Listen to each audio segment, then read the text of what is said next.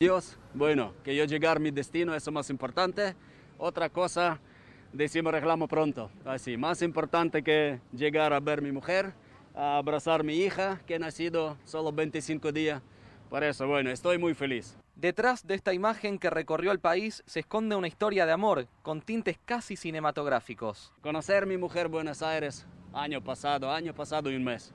Así, conocer de Buenos Aires. Y bueno, y junto nosotros ya enamorado de ella y junto nosotros viajamos por, por toda Latinoamérica, porque yo empresario y representante de toda Latinoamérica de mi empresa. Y al final, mi tesoro embarazada, tres meses, y nosotros registramos una clínica de, de San Paulo, clínica privada, y ahí empieza a contaminarse mucha gente, hasta una persona de, de clínica privada. Y yo rápido cambio nuestro plan entonces, un día ella viene para, para Buenos Aires, día 11 nosotros salimos los dos. y yo salir para Paraguay, para Asunción, para presentar mi empresa para, para gobierno de, del Paraguay.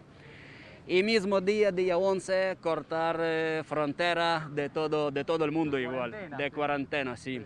Y bueno, y ella quedarse casa de su amiga de Buenos Aires, hasta no puedo cruzar ni, ni, ni juntar con su madre y yo quedarse a Asunción. Lo que al principio fue la viveza de un empresario que quiso pasar un control con un ex soldado de élite ucraniano escondido en su baúl, terminó siendo un traspié en el interminable viaje de Víctor, desde Asunción, Paraguay, hasta un hospital rosarino para intentar llegar a tiempo, nada menos que al nacimiento de su hija. Un control, eh, chofer dice que se llama Juan, dice que ahí control que, nosotros paramos, dice más o menos media hora.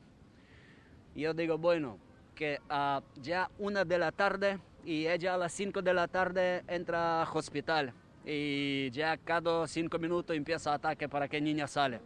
Yo, no, yo calcular tiempo y digo de una de la tarde hasta 5 de la tarde y falta 350 kilómetros para llegar al destino.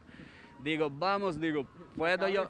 Sí, puedo, puedo yo entrar al baúl, posible gente no para nosotros. Y eso mi, mi decimos, pequeño decimos aventura o tontería decimos así, que yo entrar al baúl.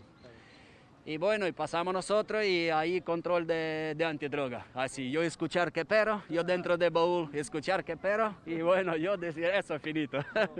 Su mujer ríe y dice que para la opinión pública pasó de ser un sicario a un simple padre que ahora cambia pañales. No, la verdad que no lo podía creer. O sea, sí lo creo de él porque lo conozco y sabía que lo iba a hacer para estar en, en el nacimiento de su hija. No podía creer que lo hayan dejado 14 días detenido en un calabozo. O sea, eso es lo, lo, que yo no puedo creer. Les aviso que todo lo que se dijo ahora el sicario que ustedes decían que era, cambia pañales. Dicen que las situaciones límite ponen a prueba a las personas. Víctor no lo dudó y recorrió mil kilómetros para conocer a su hija recién nacida y deja el mensaje que cuando se trata de amor no existe ninguna barrera. Nosotros solo por juntar de familia, para nosotros no hay frontera, ni cuarentena no asusta nada.